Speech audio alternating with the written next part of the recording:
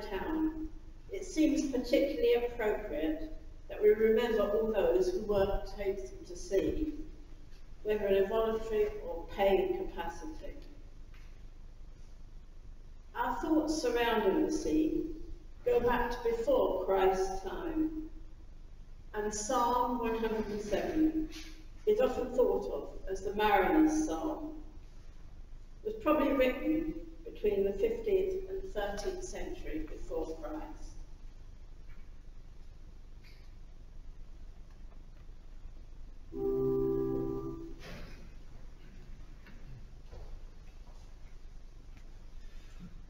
Say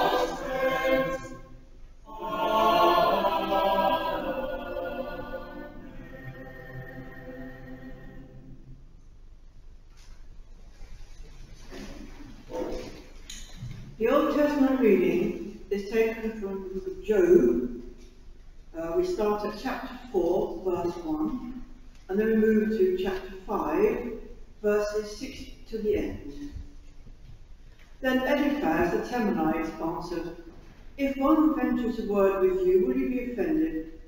But who can keep from speaking? For misery does not come from the earth, nor does trouble sprout from the ground. But human beings are born to trouble just as sparks fly upward.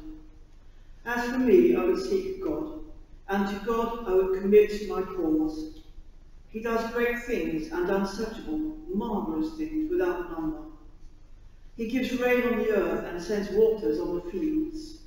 He sets on high those who are lonely, and those who mourn are lifted to safety. He frustrates the devices of the crafty, so that their hands achieve no success. He takes the wise in their own craftiness, and the schemes of the wily are brought to a quick end. They meet with darkness in the daytime and grope at noonday as in the night. But he saves the needy from the sword of their mouth, from the hand of the mighty. So the poor have hope, and injustice shuts its mouth. How happy is the one whom God reproves. Therefore do not despise the discipline of the Almighty, for he wounds, but he binds up. He strikes, but his hands heal. He will deliver you from six troubles. In seven, no harm shall touch you.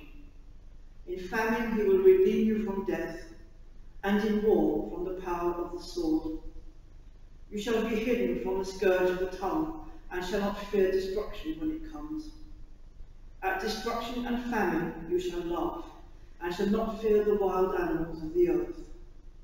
For you shall be in league with the stones of the field, and the wild animals shall be at peace with you. You shall know that your tent is safe. You shall inspect your fold and miss nothing. You shall know that your descendants will be many, and your offspring like the grass of the earth. You shall come to your grave in ripe old age, as a shock of grain comes up to the threshing floor in its season. See, we have searched this out. It is true. Hear and know it for yourself. Here ends the first reading.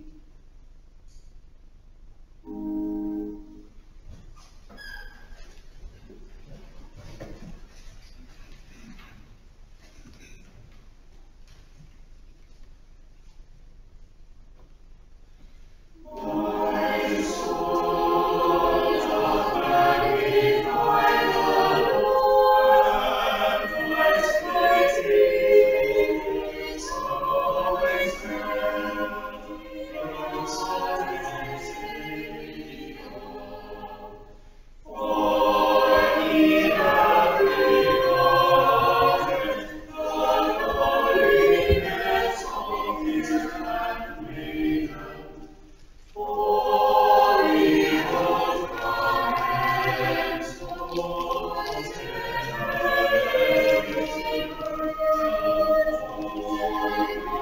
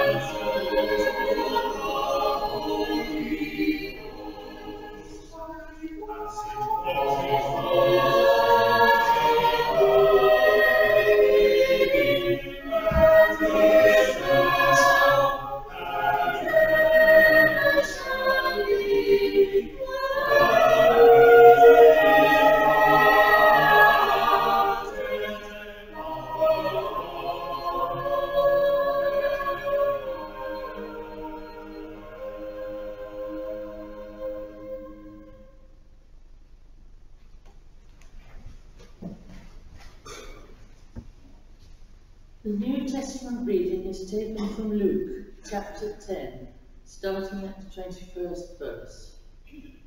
At that same hour, Jesus rejoiced in the Holy Spirit and said, I thank you, Father, Lord of heaven and earth, because you have hidden these things from the wise and the intelligent, and have revealed them to infants.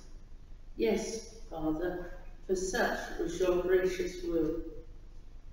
All things have been handed over to me by my Father, and no one knows who the Son is except the Father, or who the Father is except the Son, and anyone to whom the Son chooses to reveal him. Then, turning to the disciples, Jesus said to them privately, Blessed are the eyes that see what you see. For I tell you that many prophets and kings desired to see what you see, but did not see it, and to hear what you hear, but did not hear it. Here ends the New Testament reading.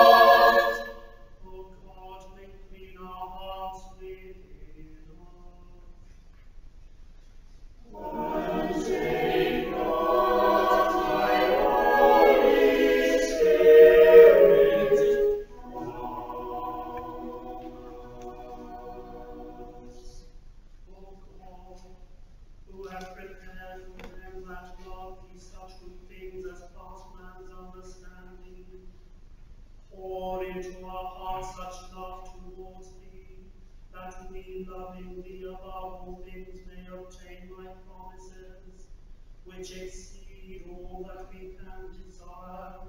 Through Jesus Christ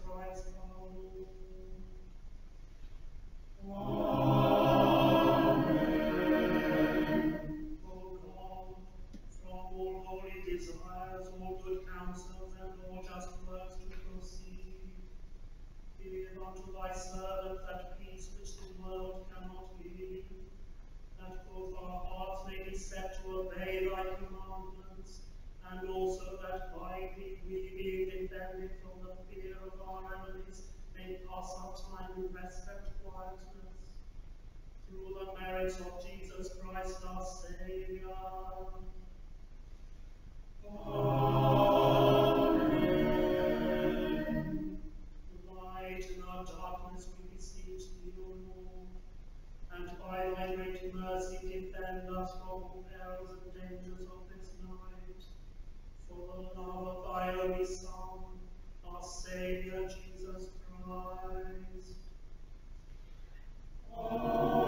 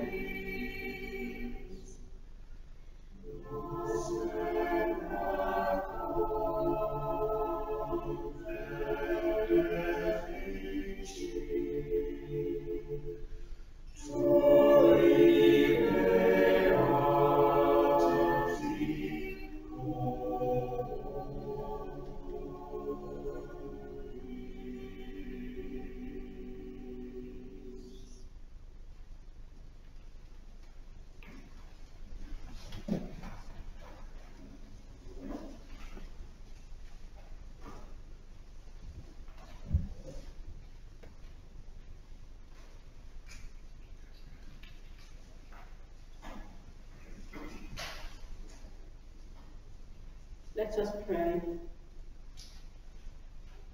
Jesus Christ, Saviour and Prince of Peace, still us, O Lord, as you still the storm. Calm us, O Lord, and keep us from harm. Let all the troubles within us cease. Enfold us, Lord, in your deep peace. Amen. Give you thanks for the endurance of the church, for all unafraid of death as they look to the resurrection. We pray for Christians witnessing amid afflictions, hardships, and calamities, for all who are being persecuted for their faith, for those who have suffered beatings, imprisonment, or scorn, for all who witnessed your love in difficult places. Lord, bless your people. Lord, in your mercy. Lord of the earth and sea, protector of all who work upon the seas, all fishermen and seafaring peoples. We pray for the Royal Navy and for the Merchant Navy, for those who volunteer on the lifeboats or work on the oil rigs. We pray for all those whose lives are endangered by storm and flood. Lord, bless your people. Lord, in your mercy. We give thanks for all who provide our food, all who protect us and shield us from harm. We pray today for our own homes and loved ones, and we remember any who have recently lost their homes or their livelihood. Lord, bless your people. Lord, in your mercy. Lord of all power, be with all who are being overwhelmed. Protect all who are in the storms of life, all who are facing hardship and danger, all who are having sleepless nights, all exhausted and hungry peoples. We pray for the fearful and the anxious, and the storm-tossed, may they, may they know your peace. Lord, bless your people. Lord, in your mercy. We give thanks for all those who have passed through life's storms and are now at peace in your presence. We pray for loved ones departed. Lord, bless your people. Lord, in your mercy, hear us. Accept our prayers and be with us always. Amen. Amen.